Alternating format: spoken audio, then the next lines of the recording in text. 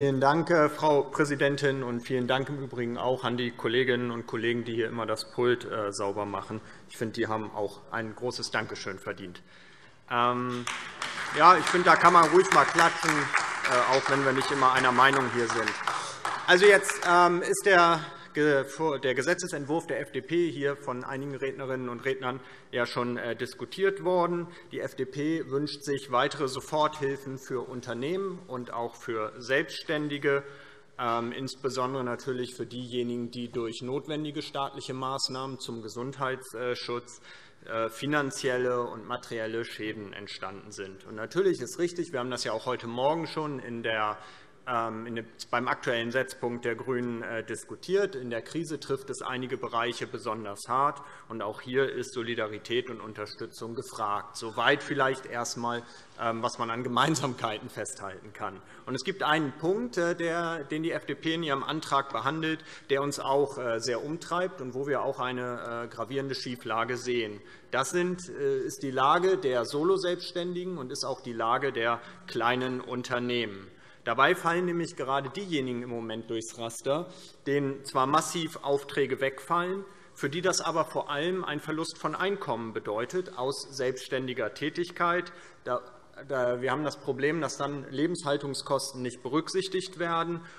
Deswegen sind wir gerade in dem Bereich, was jetzt kleine Unternehmen angeht, was Soloselbstständige angeht, durchaus mit dem Vorschlag einverstanden. Natürlich wird der Vorschlag dann noch einmal detaillierter im Ausschuss äh, nachher beraten werden. Aber wir sehen hier im Grundsatz ein Problem, das bisher weder Bund und Land berücksichtigt haben. So war ja auch ein bisschen die Debatte heute äh, Morgen. Sowohl die Große Koalition im Bund als Schwarz-Grün in Hessen verweisen halt die Betroffenen sofort auf die Grundsicherung. Und wer als Selbstständiger kein Unternehmen hat, das unmittelbar Zahlungspflichten nicht erfüllen kann, steht damit also im Moment ziemlich im Regen. Wenn es dann hart auf hart kommt, dann bleibt am Ende nichts anderes als der Weg in das Hartz-IV-System. Das finden wir doch sehr ungerecht. Wir finden, das muss geändert werden. Ähm, dabei reicht nicht, Dabei reicht auch nicht, die Verantwortlichkeiten ständig hin und her zu spielen. Also, wenn die Bundesregierung in dem Bereich nicht zu Nachbesserungen bereit ist, was wir bedauern würden, dann sehen wir halt das Land auch in der Verantwortung, hier selber und eigenständig äh, tätig äh, zu werden. Das Land muss hier für Solo, insbesondere für Solo-Selbstständige, aber auch für kleine Unternehmen mehr tun. Gleichzeitig haben wir aber auch, ich will es mal so fortgeschrittener Zeit etwas diplomatischer und freundlicher äh, formulieren, auch Beratungsbedarf, was jetzt äh, den Aspekt der größeren Unternehmen äh, angeht, den die FDP jetzt auch mit zusätzlichem Geld beglücken will. Natürlich kann man feststellen, dass hier Notwendigkeiten bestehen, dass der Staat Hilfe leisten kann. Allerdings, ob die Hilfen von maximal 50.000 €, die Sie vorsehen bei Unternehmen bis zu 200 Beschäftigten, überhaupt mehr als einen ganz minimalen Effekt bewirken würden, das würde ich doch sehr bezweifeln. Und da muss ich auch ausnahmsweise mal den Überlegungen des Kollegen Kaufmanns durchaus recht geben. Ich glaube, da ist der Wunsch der FDP, so ein bisschen was für die eigenen Klientel, für die eigenen Leute zu tun, doch etwas mit ihnen durchgegangen. Ich glaube, in diesem Bereich werden die genannten Summen eben nicht reichen, um wirkliche substanzielle Hilfe für diese Unternehmen zu sein. Und aus meiner und unserer Sicht sind in diesen Bereichen eben bei größeren Unternehmen Bürgschaften, Darlehen und durchaus auch, und jetzt sozusagen kommt vielleicht ein Aufschrei, wobei da kommen wir dann auch bei den, äh, zu den Bedingungen, sind auch staatliche Beteiligungen das durchaus geeignetere Mittel. Dazu hat ja der Bund ähm, auch ein großes Bürgschaftsprogramm auf den Weg gebracht, das Land ja auch. Ich glaube, wir haben einen Bürgschaftsrahmen von 5 Milliarden € äh, sozusagen äh, hier ja gemeinsam beschlossen. Ich denke, dass man ähm, die Unternehmen auch auf diese Mittel verweisen kann und verweisen sollte. Immerhin muss man auch davon ausgehen, dass viele Unternehmen, die jetzt akut in die Krise geraten sind, in den letzten Jahren ja durchaus auch äh, gewisse Erträge hatten, Rücklagen bilden konnten. Ich finde, es besteht hier die Gefahr beim Vorschlag der FDP, dass nun denjenigen geholfen werden soll, wobei so groß ist die Hilfe dann äh, auch nicht, die sich vielleicht auch selber helfen können. Ich finde es wichtig, in dem Zusammenhang noch einmal zu betonen, weil das kommt in Ihrem Antrag natürlich leider gar nicht vor. Es gibt eine riesige Schieflage, wenn in diesem Land Gelder fließen Es gibt zum einen Großkonzerne wie die Lufthansa. Da werden mal locker eben gerne 10 Milliarden € äh, versprochen. Der Staat verspricht Milliarden, verzichtet dann auch noch großzügig auf jegliche Mitsprache. Bei denen sitzt das Geld äh, locker. Die anderen aber, die anderen aber müssen in die Röhre gucken. Das ist ziemlich ungerecht. Das darf nicht sein.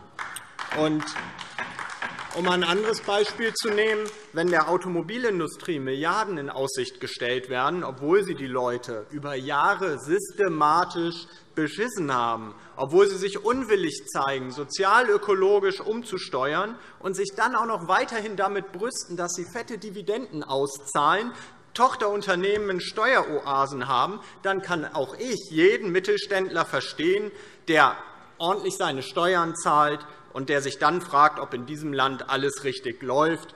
Über diese Schieflage finden wir leider überhaupt nichts in Ihrem Antrag, und das ist ein ziemliches Problem. Was mir aber in der Debatte und in unseren ganzen Debatten überhaupt fehlt und was viel zu sehr zu kurz kommt, ist die Frage, was das eigentlich für Menschen bedeutet, diese Krise, die ihren Arbeitsplatz verlieren werden, die durch den Verlust von Einkommen in Arbeitslosigkeit, in Grundsicherung landen werden, in Hartz IV, und die dann von dem, wie wir es nennen, Armut per Gesetz betroffen sind. Es ist ja richtig, dass wir uns unterhalten, wie man möglichst viele Jobs retten kann. Da sehen wir auch noch Nachbesserungspotenzial. Denken wir an das Kurzarbeitergeld und die Frage, dass es sofort auch auf 90% erhöht werden muss, weil, wenn man in einem prekären Job steckt, die jetzige äh, Kurzarbeiterregelung nicht zum Leben äh, reicht. Und es ist aber zu befürchten, dass auch viele Menschen ihre Arbeit verlieren äh, werden und das weder selbst verschuldet noch ein hinzunehmendes Schicksal ist. Ich finde, auch für die, für die es keine staatlichen Hilfen gibt oder bei denen, die sie nicht bei denen sie nicht ausreichen werden, da müssen wir auf mittlere Sicht auch Einkommen äh, sichern. Wir müssen ein menschenwürdiges Leben äh, sichern, und wir müssen die Menschen von amtlicher Gängelung und von Armut befreien. Wer heute also großzügig Milliarden bereitstellt, um Konzerne zu retten, die teilweise fette Dividenden gezahlt haben, der kann nicht allen Ernstes Selbstständige und Arbeitnehmer in die Armut schicken. Deswegen glaube ich, müssen wir in dieser Krise auch über Hartz IV reden, darüber, wie wir es überwinden können und wie wir am Ende die Menschen und nicht die Konzerne retten. Und als letzten Satz, liebe Kolleginnen und Kollegen von der FDP, wenn Sie hier großzügig Steuergeld verteilen wollen, dann müssen Sie auch die Frage beantworten, wer das am Ende bezahlen soll. Und da unsere Vorschläge über eine gerechte Verteilung der Lasten bei Ihnen ja normalerweise nur humoristische äh, Wallungen auslösen, haben Sie auch da ein Glaubwürdigkeitsproblem.